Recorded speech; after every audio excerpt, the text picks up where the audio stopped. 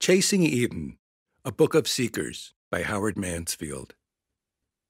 Seekers are all around us. This is a book about seekers, about Americans seeking their Eden, their promised land, their utopia out on the horizon, which, by definition, is ever receding before us.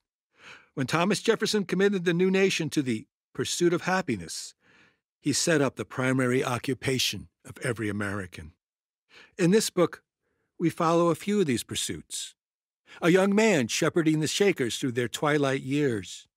The end of all but one of the Shaker villages is not, as usually portrayed, a dour shuffling to the end of their days.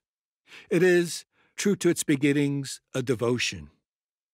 A group of adventuring 19th century landscape painters looking for God and for signs of the future greatness of their new nation in New Hampshire's White Mountains.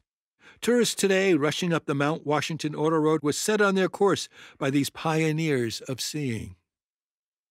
A doctor who achieves the American dream by changing the boundaries and ruling himself and his family in, crossing over and crossing back, rewriting the definition of race. 40,000 Africans newly freed from slavery taking possession of 40 acres and a mule that were granted by one Civil War general and one Secretary of War only to have their land taken from them within months by another general and a new president.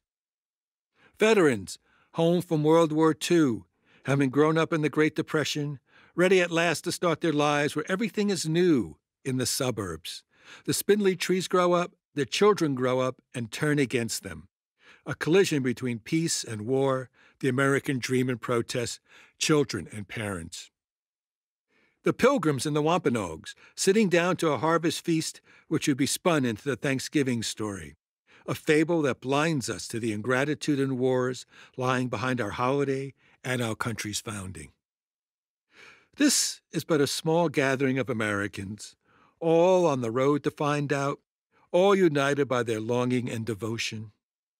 All history is the history of longing, says historian Jackson Lears, and in each era, this longing gives form and force to our lives.